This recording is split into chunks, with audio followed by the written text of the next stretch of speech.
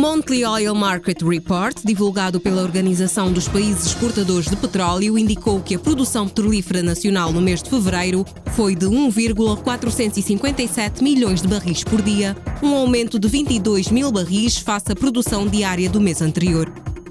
De acordo com dados divulgados pelo Instituto Nacional de Estatística, o índice de preços no consumidor nacional, referente ao mês de fevereiro deste ano, registrou uma variação mensal de 1,04%, o que compara com os 1,14% do mês anterior.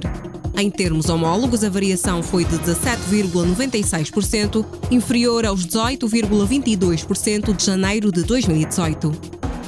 O governo vai avançar para a privatização da ENSA Seguros de Angola e a companhia sul-africana Sanlam manifestou uma intenção de aquisição. Segundo fontes da Comissão do Mercado de Capitais, a privatização da seguradora está a ser analisada, mas ainda não existe um cronograma definido nem uma decisão sobre o modelo de venda da companhia em bolsa ou por concurso. A taxa de câmbio média do Kwanza registrou uma variação, situando-se nos 315,606 para o dólar e nos 356,919 para o euro.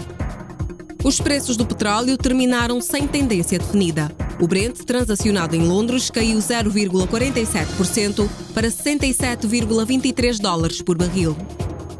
O Departamento do Comércio informou que o agregado de novos imóveis vendidos nos Estados Unidos da América caiu 6,9% entre dezembro e janeiro para 607 mil unidades, a maior queda em três meses. O número foi inferior ao antecipado pelos economistas, que esperavam vendas de 622 mil unidades.